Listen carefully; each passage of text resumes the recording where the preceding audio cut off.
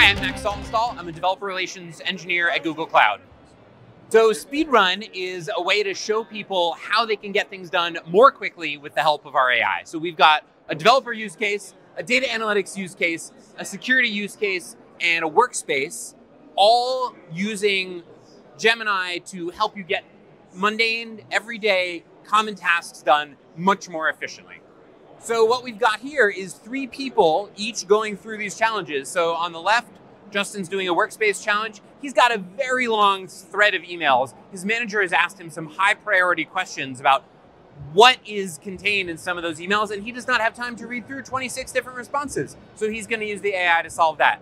In the middle here, Scott has just been inherited an entirely new code base that he's unfamiliar with, and he needs to understand what it's doing, understand some of the code specifically, and he probably is going to be writing some unit tests real soon. He might not know that yet, so don't tell him.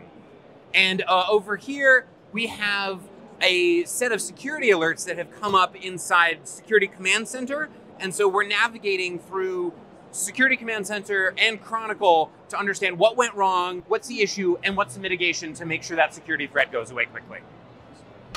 I'm actually really excited to meet a lot of the folks that I've only interacted with online and never had a chance to share space with.